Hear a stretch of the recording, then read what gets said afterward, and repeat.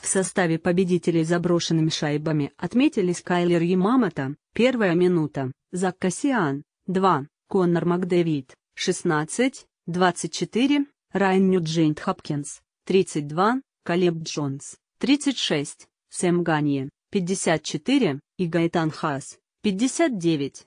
У проигравших отличились Бадди Робинсон, 13, Мэтью Ткачук, 25, и Ильяс Линдхольм, 31.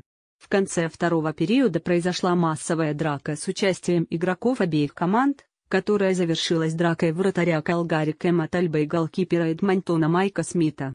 В НХЛ драка вратарей произошла впервые с 2013 года, когда в матче между Вашингтоном и Филадельфией подрались Брейден Холдби и Рэй Мири. Тальба и Смит были наказаны дисциплинарными штрафами до конца игры. Команды не доиграли период и ушли на перерыв. В общей сложности по итогам матча команды получили более 100 минут штрафа. Рекордным матчем по количеству штрафных минут, 417, является игра между Филадельфией и Оттавой, 5 к 3, которая прошла 5 марта 2004 года.